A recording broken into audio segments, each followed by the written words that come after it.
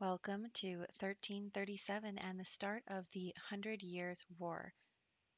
Yeah, so that's going to be interesting. um, in the last one, we did lose Hugo Third, and then Ethelred aged up into a teenager, and Genevieve aged up into a child. Maggie's two children, Roland and Johannes, made it to toddlerhood, but uh, she did have a baby that did not survive some kind of mystery baby was born from a ghost, and I'm not sure if that's even a thing, but we'll find out. and we did lose Agnes, beautiful, wonderful Agnes. And uh, Milo did age up into a teenager. Margaret, did Margaret age up into a toddler, or was she always a toddler? I can't remember. But anyway, we have toddlers to teenagers now. anyway, um, yeah, let's see. Robert, so mystery baby, baby died, twins. Yeah, okay. All right. Yeah, I think we're in good shape here. And oh, they're pregnant again, actually. Good stuff. And um, Milo is working on the country caretaker aspiration. I don't know if we'll actually be able to finish it given the time period, but we'll find out. I know this is what you're all waiting for. The Hundred Year War will start. Also, Roger's supposed to get married, so we'll marry him if he doesn't go to war. If he does go to war, we'll wait on that. But anyway, 100 Year War. Whew, okay. Also, William's aging up, so let's roll for William first, um, because if he doesn't survive, he can't go to war, so it doesn't even matter. He does survive. Okay, and then how long does he survive for? Rolling uh, the d10. Come on, come on, come on. Here we go. Seven years. Okay, so he can go to war. Absolutely. All right. Um, William, one year, two year, three year, four year, five year, six year, seven. What did I just say? Oh, it was, shoot, it was seven, right? I think it was seven. I already forgot. Bennett died. Okay. Now, okay, let's do this. In 1337, roll a d4 for any male teen to see male teen and above to see if they head off to war. Do this for all of your sims, even your side household. If your sim rolls a 4, then they go to war and must move out. Okay, let's get a d4 going. And we're rolling it for every guy who is a teen or above. Okay, let's um Do priests go to war? I don't think they do. I don't know. Hold on. Let's Google it. Um, did medieval priests go to war? Many European priests were allowed on the battlefield as chaplains and could only defend themselves with clubs. Oh, medieval European canon law says that a priest could not be a soldier. So he could go not be a soldier, but he could like go to war to like help people, I guess. I'm I'm not gonna worry about that. We're not gonna roll for them. Okay, let's roll for Roland first. Roland does go to war. Oh my gosh. Okay. Well, I need to make like a war household now. Where are the oops. No, stop. I didn't mean to do that. Okay. Oh man, already? And she's pregnant. Don't die, Roland. Um, okay, Roland, go over here. I know you don't have any money, but you don't really need it. Um, okay. Oh man. Okay, next is the Walter side family. We have Bate and Jan. Bate and Jan. Okay, okay, so far so good in that household. In the Walter Main family, we just have Ellis. Okay, Ellis is good too. Over here in this Bennett house, nobody. Okay. Let's save our household for last. Okay, here we have the big household. We've got Dante and then Roger Bennett. Dante. Dante's going to war. Roger. Okay, Roger, I guess you can get married, Roger. I don't have anyone to marry you to, but um, we'll cross that bridge when we get there, I guess, which is right now. um, not world. Okay. Dante. Let me just like take some money for them. Okay, and then here, all we have is Robert. Oh, but Robert can't. Oh, I knew that was gonna happen.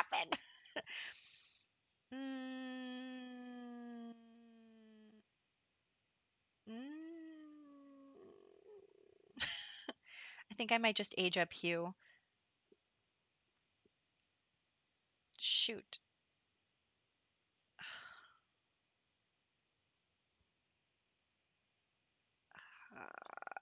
Maybe we could add. Okay, here's what we're going to do. Can't believe this is happening to me. This always happens to me. Okay. Uh, first, I am going to move. You know, this is what I made priests for. I don't know how old Aldous is, though. Let's move Aldith. And then we will move you into here. Oh gosh, this is just a huge pain in the butt for me. Okay, next, Tartosa. I think that's the only other place we have Sims. Oh no, Forgotten Hollow. Okay. Will William be going to war? No. Will Harold be going to war? Yes. Okay, I don't really care about losing his house. There's nothing in it, so. Oh, Harold. Look at all these people going off to war. Well, let's sell a lot of furnishings then. Okay. Okay, what was I doing? Forgotten Hollow. I feel like vampires should have a different role, but anyway. We have Caleb and Henry. Caleb? Henry? Okay, well, that's probably for the best. I don't want any vampires going to war. I feel like they would get exposed as vampires. Okay, now for our household. Eric does not go. Milo does not go. Okay, whew. That was a little scary to be completely honest with you. oh my gosh, that was kind of scary. Okay. Um let's go here. Who so who is in the 100 year war for us? This is the war household. So we have um Roland oops, okay, it is typing. Dubois Dante Big.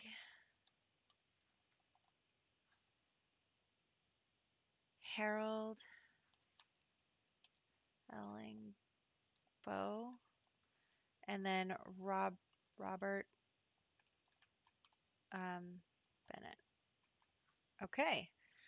So we are going to find out when. In 1342 if they survive. All right. Who knows what's happening here? okay, so I am going to uh, make Roger a wife. And other than that, uh, we'll hop into the game. So first we're here with Roger and he is going to get married to Matilda here. I just created her really quickly.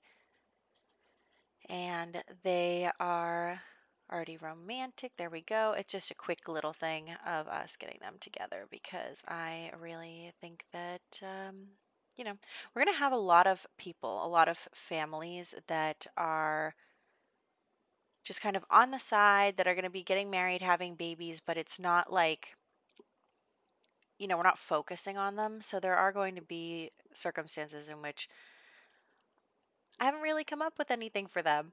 But, you know, I don't have a story for her. It's fine. She's just a person. He's just a person. they're married. It's good. Maybe later they'll have some drama, um, but I think we have plenty of Sims in our main household now in order to do that for. So the reason that I had stuff going on with Margaret is because Agnes didn't have any siblings. So, you know, that's just we have six kids. We have plenty of children to have drama with. We don't need to have our extended family members have drama as well. Anyway, we're back home now. so, um, I do want Milo to be taking care of the cow a bit because he needs to become friends with a farm animal. And I think the cow is the easiest because I wasn't even trying to make people friends with the cow, and all they had to do was take care of it, and then they were friends with it. So I think we're in good shape there. I also want Milo to be cooking a lot. See, the reason is because Eric is going to die soon, and then the only, I mean, the only person in the house other than Eric who can cook is Milo, but um, also Eric is going to die in a couple years, and so it would be good for, you know, we'll just have Milo's family here in the future. Although I think probably his kids won't be that much younger than his youngest sibling. So there is that because he's a teenager now. When he turns 16, he can get married and have a kid. We'll definitely still have some of his siblings here until then. Actually, that's a good point. Are we going to be able to fit all these Sims in our household? Like, is Milo going to be able to have kids? Because um, if Eric dies, we replace Eric with Milo's future spouse. And then we need the kids to start aging up and moving out so that we can have room for Milo's kids. That's a good point. Interesting. I might have to end up expanding the household size after all, but we'll see. Also, um, we purchased a garden patch for his aspiration. We also need to socialize with a fox, rabbit, or bird five times, and also we need to visit each place in Henford on Bagley. So I'm just having him go to church and visit. I also remember that there is like a tree stump here that we can talk to birds at, so that'll be good as well. And yeah, let's go mourn our mother a little bit. Oh, Agnes. I love you, Agnes. I miss you. It's hard when the generations change over. It really is. Anyway, um, let's just add some flowers for Agnes. Also, I forgot to do Roger's wedding portrait, which is something that totally happens to me all the time because I will forget to do wedding portraits and then one of the Sims will die and then I'll have to bring them back to life to do a wedding portrait for them. um, anyway, so here is, I'm just bringing the nun here because she is the painter. And let's bring these two Sims here and we'll just pose them really quick and get a painting of them. There we go. That's how I do our our wedding portraits is I bring the Sims here and then I pose them like using a pose player. What is it? Pose pack? I don't know. And um, then we take a picture. Very good. Okay, let's uh, skip ahead a little bit. I'm trying to find ways to not make this video so long because I already spent like 10 minutes just setting up for the war. So um, I don't want this video to be a half an hour long. It's that's too much. so um, we are having Milo work on talking to the birds, talking to the birds to get that checked off and then we'll just quickly head over and grab a drink and then we'll head home and we'll have completed this part of his aspiration. I know we I said we weren't really going to focus on it, but it is I mean, we might as well if we've got time, right? Do some things. Anyway, um, like I said, we're just going to head to the bar for a quick drink and then call it good because that will be the third neighborhood in Henford on Bagley. And that's all good. I'm also kind of starting to wonder who we should marry Milo to because he is getting married in like two years. So that is definitely something that we want to consider. He could, right now, the only other teenager that he could marry is Etheldred. And I'm just really not sure that they would be a good match because they, I mean, they're just like of such different social classes. Like I know that they're distant relatives, but now that their parents are gone and everything, I just feel like I'm just not sure if I feel like that would actually happen, that he would be able to marry the first daughter of a lord as a farmer.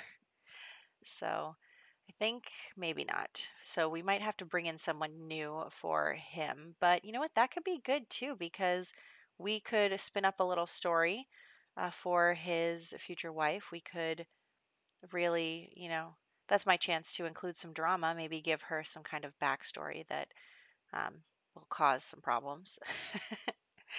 anyway, um, yeah, I think that that might be good. So here we are. Let's just do everything. I know, I'm sorry, Milo. I'm making you do literally everything. Oh, look, he can cook um, stew now. That's good. His cooking skill is improving, which is excellent. I don't know why I can't throw out that garbage, so I'm just going to drag it myself. Look at all of the gems that are around because we've had so many storms that when the lightning strikes, it leaves behind like a crystal. And a lot of those are lying around, which is actually pretty good for us if we wanted to make some money. But we already have almost $50,000. But I think, I, I don't know, I'm going to save the money for right now just because I'm thinking about our four sisters, each of which is going to need a dowry. And if we gave them the most expensive one, we'd only be left with 7,000 simoleons. Of course, I don't think that they could marry into a very, you know, rich household right off the bat, but maybe like 5,000, we could go up one class. I mean, we are kind of related to, you know, the the Lord, so we might be able to at least go above peasant class. Anyway, that would still be 20,000 simoleons. So, and we probably want to give some money to Bjorn for him to start out with just to give him his own plot of land. So, yeah, something to think about. Oh, a little bark. Yep, he hears something. Okay, both of my toddlers are passed out, so I'm just going to fix that. Everybody go to sleep, go to sleep. Very nice. Okay. What we need is to get to level, there we go. Okay, what we need is to get to level two of gardening because once we do, look at all these sparkly plants. We can finally evolve them. We're so close. I just really need that to happen. You go check on the eggs, you check on the bees. Why don't you just like do something? Okay. Good stuff. Okay, yes, we're in good shape now. We can evolve things. We're talking to our bunny friend. We have a good bunny friend. Let's check on our cow friend. Yes, all right. We're doing good. Honestly, I I'm like ready for Milo to start his life. I, I feel good about it. And I think we're actually really lucky because I was worried that Milo was going to get sent to war and then we weren't going to have our heir around. And that would have been a concern because also when Eric dies, Bjorn is not yet a teen, so we would have a problem. But I think we really lucked out in this part of the war that we don't have, you know, we're not having any problems. We're doing pretty good. So it didn't really affect us at all. I think it only affected like, well, two members of our household, and they weren't even of, of like our main bloodline. So we're in good shape. Yeah, uh, Harold can do whatever he wants now. I mean, his wife is dead. His adopted son has joined the clergy. It's just he's just all by himself. You can do whatever you want. Um yes. But wait, you can't because you're at war. So what are you trying to go on dates for? Maybe he's like off what is it? The war was with France. Maybe he's like off fighting and you know how how things used to happen is the soldiers go to war and you know you meet a pretty lady and I don't know. I'm just making stuff up. Um but yes, it's All Souls Day. I really don't want them to leave the house because we went so many places yesterday. Okay, uh, the baby, the mystery ghost baby, did survive his roll to toddlerhood. This is just such a weird situation. I can't believe that happened. um, and Maggie also survived her roll, so which is good because she's got kids at home that she, um, you know, there's no one else to take care of. So Let's get our kids all asleep. Oh, a baby. Okay. Uh, they the baby did not survive, but mom did. So I'm Maggie is just not having very good luck. I mean, she did have her two her twins, but after that, it's just no luck, no luck. That's too bad. Anyway, um, so looks like yeah, the other baby, the mystery ghost baby, did survive his roll, but he hasn't automatically aged up yet. We have to wait for that to happen before we can try and summon him. If we can summon him, then I am going to include him in our family. Might as well. Um, but if we can't summon him, I'm just going to pretend he doesn't exist. Maybe try to delete him. I don't really know how that happened, and I hope it doesn't happen again. I don't think it could happen again at this point because it's been a year, but I was going to be like, I hope Agnes isn't ghost pregnant too. what a weird thing to happen. Must be like some kind of consequence of MCCC. Anyway, we are friends with the bunny, so let's get a little tree something here and we'll be good and we can uh, fertilize some plants in the future as soon as we get to level three gardening, and then we'll be done with this part. Honestly, I think the part that I'm most worried about with this aspiration is the winning um, a thing, and I just don't know if we can do that. I don't know. Did they have, um, you know, festival things like that before, like in the olden times? I don't know. So, whatever. It doesn't really matter. Let's cook some food. All right, everybody get up. Let's get some. food. Oh my gosh, my toddlers. Um, my toddlers. okay. Roland, Roland. Estrid also survives. Very good. Our vampire girl. That's good.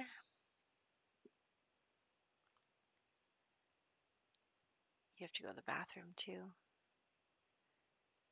Yeah, we're we're starting to wind down. I think it's um, the last day of the year, and then we're going to just head out and do a couple of maintenance activities. So let's go do that. I'm just off to kill a baby. It's fine.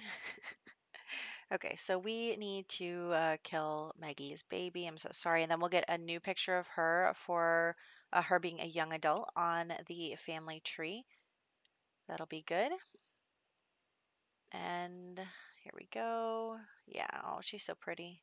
I feel bad that her husband is um, away at war, but I mean, honestly, they have a really good chance of surviving. I think it's only like one number that they won't survive, so I think they're in pretty good shape. Check out her. Whoa, her, I mean, she's really got quite the set of traits. Okay, now let's head here and see if we can't get the ghost baby involved. So here we go, and I am going to use the teleporter to summon the ghost baby. My ghost baby. It's really weird situation. But honestly, I like to think of it as Royce is just beyond the grave was like, I need to bear a son for this family. I just really feel like that's what she's like. Um, all right, there we go. I just need a picture of this little baby, give him a little makeover, and then we'll call it good, I think. So let's head into Create a Sim. Here we go. Purple, of course, and just throwing the same outfit on every single thing. So that's good. We're all set here. Look at that cute little baby. Excellent. Okay. Great job. Great job, team. Let's. Okay. Well, I guess that, you know what, that's our cue anyway. Sorry. There's construction going on across the street and the dog does not like it. So that's where we're going to wrap up, Harrison.